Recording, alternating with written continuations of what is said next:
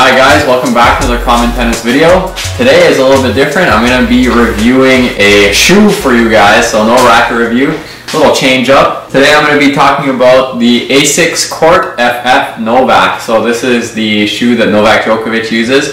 Uh, so he switched from the Adidas Barricades. He had his own version of those that he was using. Uh, which was based off of the Barricade 7, I think. But anyways, he switched to Asics recently.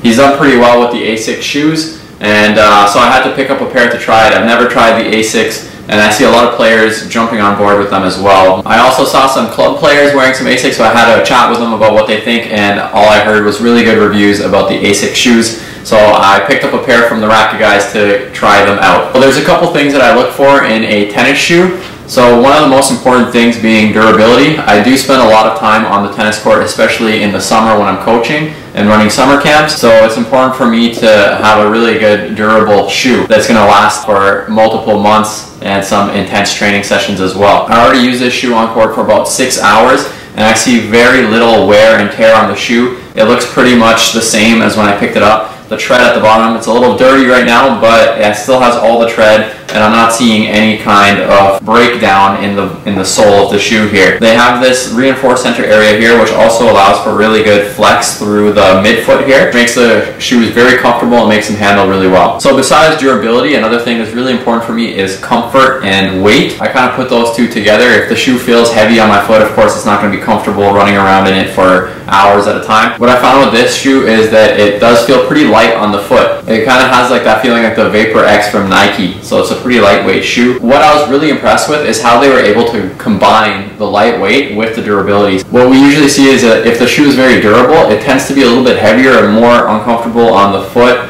a little bit more taxing when you're running around for a long period of time.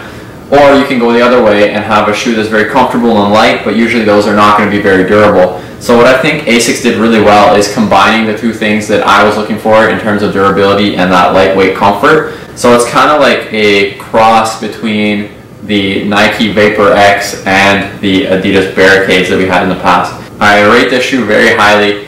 Um, one thing that really stuck out to me in terms of like a unique feature to the shoe kind of looks like these gills that run through it right here. This adds to a pretty cool look to the shoe, but what it does also is it allows the toe to have a lot of flex. So it makes this shoe very comfortable to run in, especially if you have to drop down for low balls. Anytime that you're on your toes, it really allows you to, to flex that front of the shoe very easily. So that was something I was very happy with. Also, if you look in here, it is very cushioned at the back with the heel and around the ankles, so it does provide a lot of stability and comfort around the ankles. Now, some of the features of the shoe, we've got the ASICS logo drawn out really nice and big on the side, kind of like I mentioned, it kind of has that sports car looking grill and gills over here. It makes it look very sleek.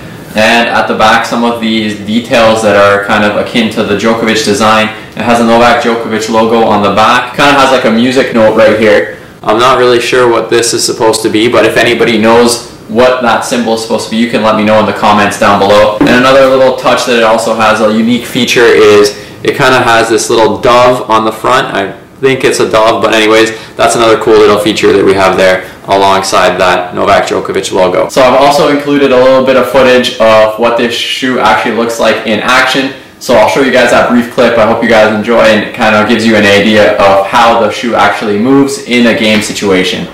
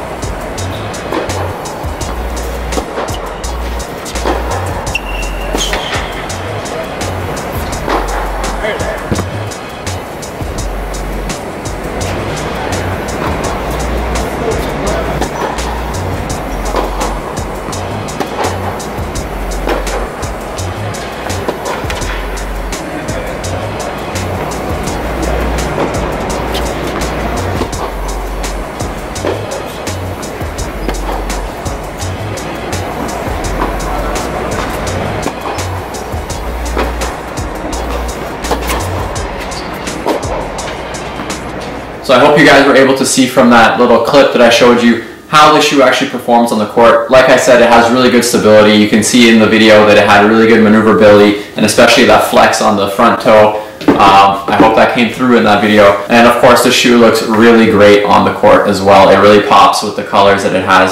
It's a very nice white with the green, really stands out when you're on the court. So if you guys haven't checked out this shoe yet, I recommend you give it a shot. If you were a fan of the Barricade and you were looking for something a little bit lighter, or you're a fan of the Nike Vapor X but we're looking for a little bit more durability out of the shoe, I find that these ASIC Court FF Novak uh, do a really good job of blending those two positive features of those two shoes into one. So check this shoe out. I'm sure you're not going to regret it. And of course, guys, if you enjoyed this video, please leave a thumbs up because that helps the YouTube algorithm boost the video, helps me get a little bit more views, and it really supports the channel and helps me grow. So I'd appreciate if you guys hit that thumbs up right below the video. Another thing that helps out is subscribing to the channel and that way you won't be missing any new uploads coming from my channel. Thanks again for watching. Hope you guys have a great day.